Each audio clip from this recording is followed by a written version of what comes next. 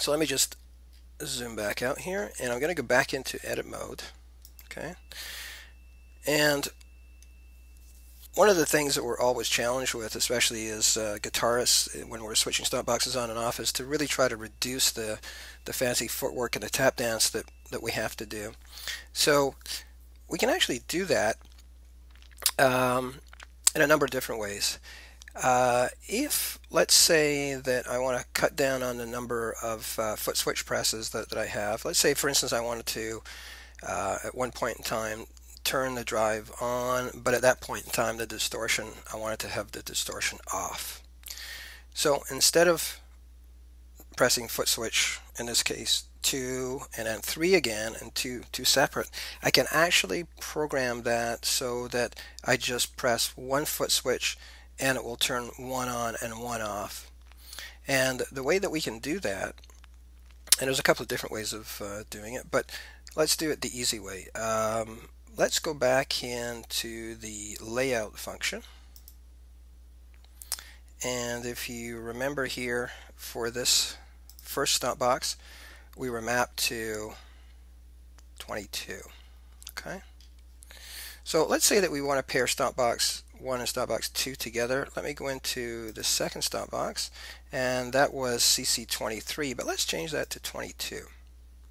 So that means that 22 will be used for both stomp box 1 and stomp box 2. We'll go back into edit mode.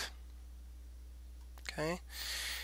And as we talked about a little bit before, we're going to try to configure this so that when I press one foot switch, uh, the drive will go on and the distortion will go off and vice versa.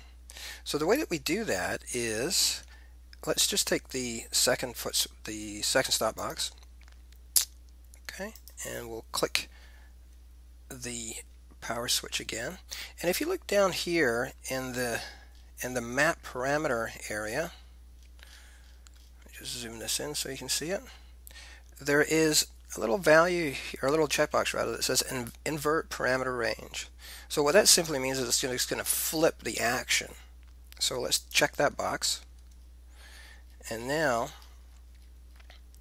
what will happen is um, we'll go into perform, just double check that.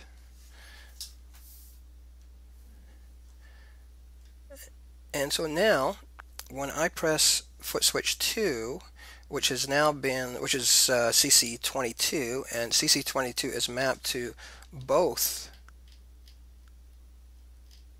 stomp box 1 and 2 is I'm only pressing one foot switch but yet the drive is turning off and the distortion is turning on. So you can see that back and forth there. I'm just pressing pressing I'm only pressing one foot switch. So that's a good way of just using one foot switch uh, instead of doing two separate taps. Now there are other really neat applications of that. You can do all kinds of different combinations for it. So let's say for instance uh, we wanted one on and three off. We could go into, let's go back into layout mode here. Okay. And I'm now going to go into, uh, let's say, the third stomp box. And let me map that to 22 as well.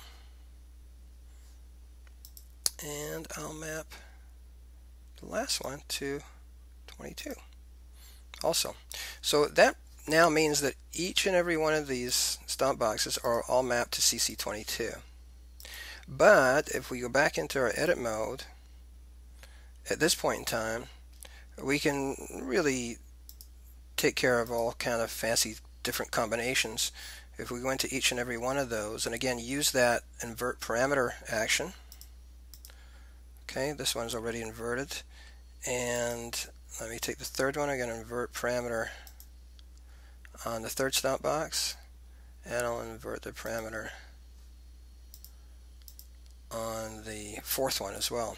So now when we go into edit mode, or rather perform, let's just test this out. Let me zoom in for you here so you can see. So right now, as you can see the drive is on but all three of the other stomp boxes, two through four, are off. And what I'm now doing is pressing on foot switch 2. I'm only doing one switch. And what's happening is it will map that to toggle the drive on. And then if I want drive off, but the other three on, I'll be able to switch to three on just with one single foot switch. So again, this is all done by one single switch. And if you wanted to, you could get into all different uh, combinations with this.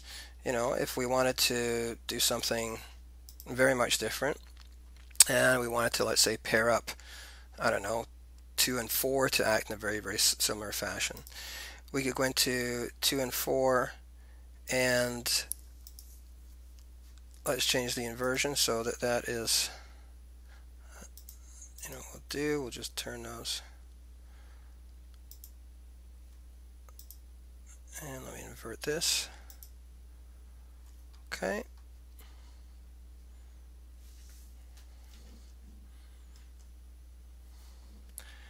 And let's do this guy.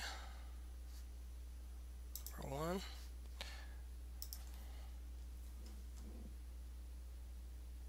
Okay so let's just zoom in here a little bit and take a look at what we've been able to do there. So again with just doing you know uh, just a bit of a different combination with the inversion. Again, with one foot switch, and in this case I'm using number two, is it's really kind of paired uh, one and three and two and four. And I can set those to any different states that, that I want. So as you can see with one press, the distortion and the echo goes on, and one press, the drive and the phaser goes on. And there's any number of combinations that you can use in order to do that. So what I suggest you do is just be just be kind of creative with that. You know, be aware that that, that, that function is in fact there. It's a very very handy function to have, and know that you can also map any of those stomp boxes to really any CC that you want in order to get the right combination. So hopefully you have fun with that and have learned a bit from it. And if there's uh, any comments, I certainly welcome them. Questions as well. And if you would like any other uh, videos on any other topics within MainStage, kind of let me know. All right, all the best.